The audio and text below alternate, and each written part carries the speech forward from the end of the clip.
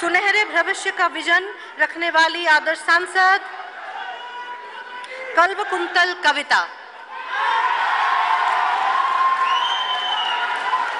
सुनहरे भविष्य का विजन रखने वाली आदर्श सांसद कल्ब quintal Kavitha.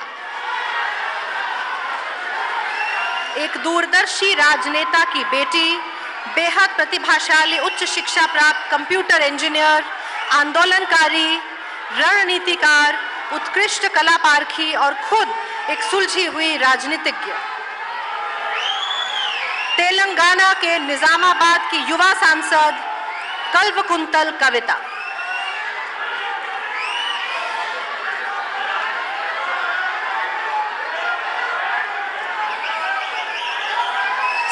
the vote of thanks. Ladies and gentleman, सब आपकी लोगों के पधारने का धन्यवाद। अब हमारा कार्यक्रम समाप्त होता है। आप लोग बाहर में भोजन करके घर जाएँगे। धन्यवाद।